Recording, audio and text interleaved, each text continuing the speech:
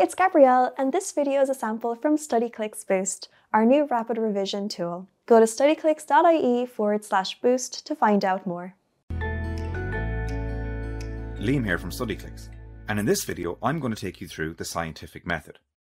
Many students find this to be a boring topic, but it's really important that you have a good understanding of how scientists carry out their work. The scientific method is simply a way to solve a problem. It is the method that should be used for all scientific projects as it allows for learning from failure. So the steps involved in the scientific method. First step, making observations using your own senses or by using machines. The second step is formulating a hypothesis. This means to formulate a question or a problem and make a prediction on what will happen. So a hypothesis is an educated guess based on observation.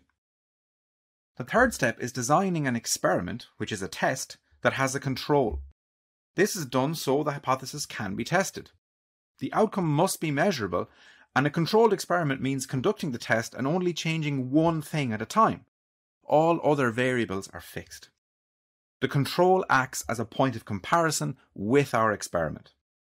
The fourth step is conducting the experiment to gather data, and the data is then interpreted, which means the data is recorded and analysed.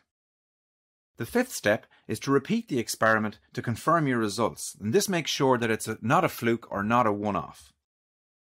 The sixth step is forming a conclusion. Was your hypothesis correct, yes or no, and explain why. If the hypothesis was correct, you proceed to the next step.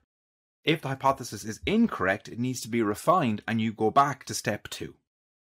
The seventh step is comparing the conclusion with existing knowledge. Have we learned something new? And then the eighth step is reporting and publishing the results, usually in peer reviewed scientific journals. And this is where other scientists would look at your work.